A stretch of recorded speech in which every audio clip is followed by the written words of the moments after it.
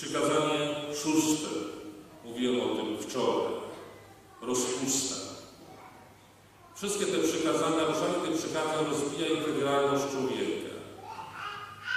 Seksualność nieuporządkowana rozwija integralność człowieka. Człowiek staje się niewolnikiem myśli, namiętności, po prostu porządliwości.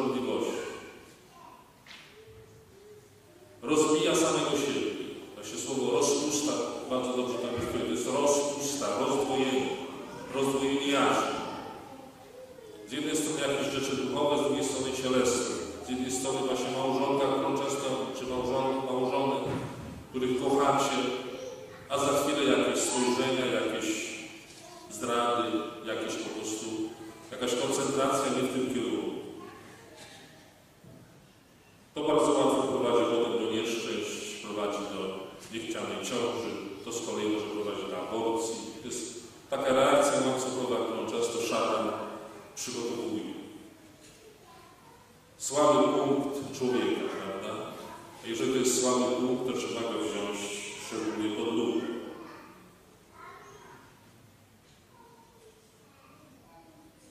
To, że tutaj są aborcje, to o niczym nie świadczy. To jest początek końca. To jest grzech śmiertelny, to jest grzech par excellence, największy z możliwych, jeden z największych grzechów. Zresztą bliski nie tylko, nie jest to tylko przekroczenie szóstego przykazania, czy piątego przykazania, aborcja, ale też pierwszego przykazania, bo to jest zabicie niewinnego człowieka, z którym się Chrystus utożsamia, bo Chrystus sam był też najniewinniejszy z nimi. Właśnie ta ręka to pokazuje też.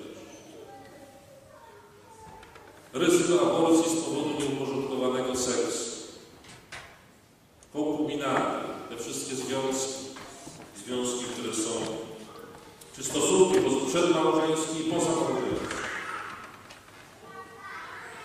Poszukiwanie rozkoszy seksualnej właśnie pornografii. Pornografia to jest po prostu dno, to jest, to jest robienie z siebie kloaki. To jest niszczenie swojej duchowości przede wszystkim. Bo nie tylko chodzi o to, że się że wpadasz w przywiązanie w nałogu, w namiętność, stajesz się takim, takim uzależnionym po prostu nałogowcem, seksownikiem. Ale ty się duchowo degradujesz, człowieku się duchowo degradujesz.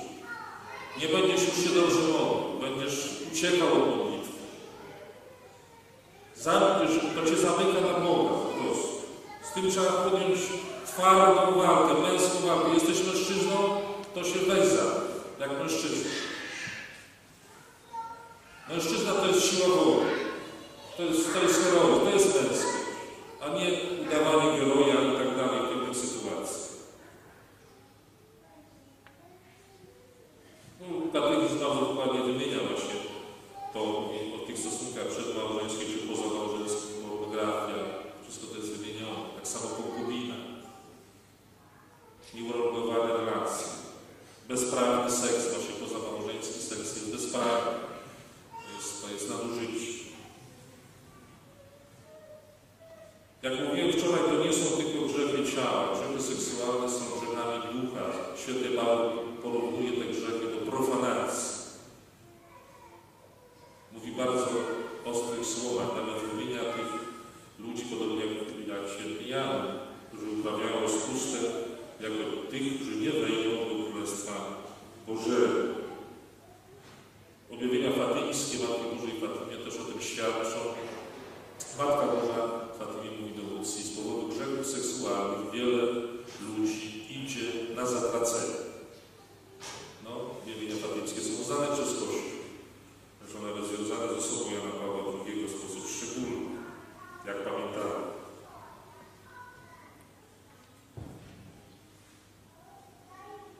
Kochani, to wszystko jest też związane z dobrem rodziny.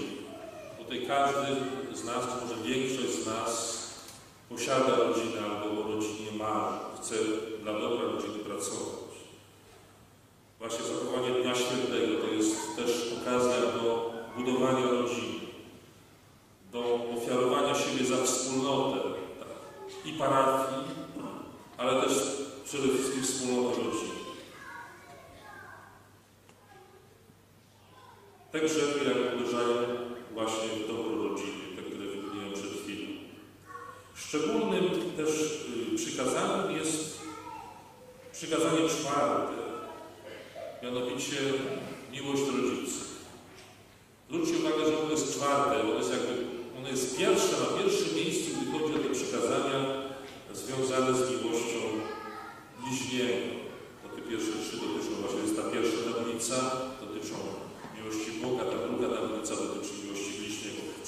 Czwarte jest na pierwszym miejscu, gdy chodzi o miłość bliźniego.